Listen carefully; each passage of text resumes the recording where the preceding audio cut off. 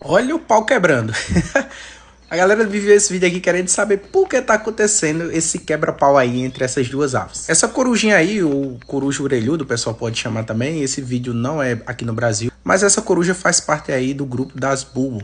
E esse falcãozinho aqui também faz parte aqui do falcão de coleira. Mas aí a ideia é por que eles estão brigando. Não sei se vocês sabem, mas as corujas predam sim pequenos falcões e gaviões, né? São grandes predadores, na verdade. E essa daí, ela é bem grande. Mas se vocês prestarem atenção, olhem que estrutura ela tá. Ela tá tipo numa casinha. Então dá a entender que na verdade isso aí seria um ninho desses falcões. E os falcões estão tentando expulsar a coruja. Isso é bem comum de acontecer na natureza, onde um predador, no caso a coruja aqui, se apossa de um ninho de outra ave e aí expulsa aquela ave e as aves tentam expulsar esse grande predador porque aí elas querem fazer o seu ninho. Então não vai pensando aí que é uma coisa ah, incrível que está acontecendo, não, é uma coisa natural, onde uma coruja tá tomando conta de um possível ninho aí desses pequenos falcões, tá certo? E ela ficou ligadona.